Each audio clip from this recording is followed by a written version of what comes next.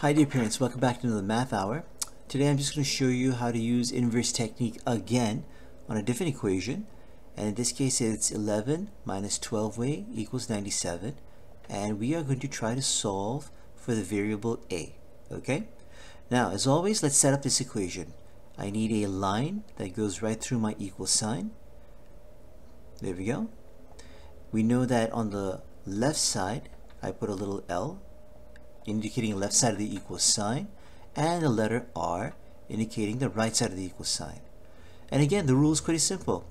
If I want to solve for the variable a, I need to get rid of all the numbers in my way. I need to get rid of the positive 11. I need to get rid of this minus 12 as well. They're in my way. They've got to go. And we're going to figure out how to do that. Okay? So first things first, let's see my variable 12 minus 12a is on the left side of the equal sign and that is good. The variable stay on the left side. However, my positive 11 right here, that's just an ordinary number. That should not be on the left side of my equal sign. That needs to go to the right side of the equal sign. And that is blocking my way. So let's get rid of that positive 11. How do I get rid of this positive 11? I take its inverse the only way I can get rid of a number is to fight it with another number. So if this is positive 11, the inverse or the opposite of it becomes minus 11. And whatever you do on the left side, you've got to do it on the right side for balance. So this will also be a minus 11. You see that? Now some kids make the mistake of putting minus 11 right over here. You can't do that.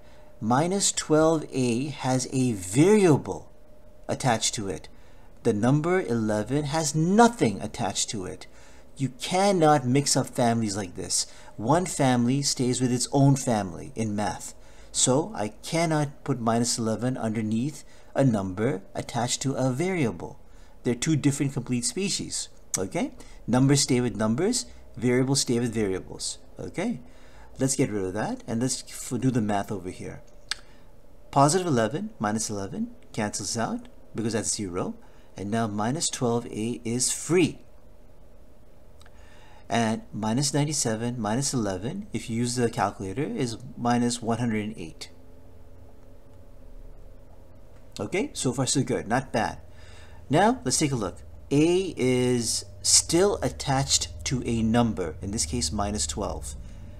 Minus 12 is firmly attached to A. I need to snap off that minus 12. I need to break it off from the A and the only way I can break off a number from the variable is to divide it by the exact same number with the exact same sign in front of it. If you make, some kids for example forget to put the negative, if you do like this, this is wrong. Minus 12 and positive 12 are two different numbers. The only way to break off that minus 12 is to divide it by the exact same number with the exact same sign. And whatever you do on the left side of the equal sign must be done on the right side of the equal sign for balance. Minus 12 divided by minus 12 cancels out and becomes positive 1. And that means A is now free. And of course, if you put this in the calculator, minus 108 divided by minus 12 is a positive 9. And that is the final answer to this equation. All right, thank you.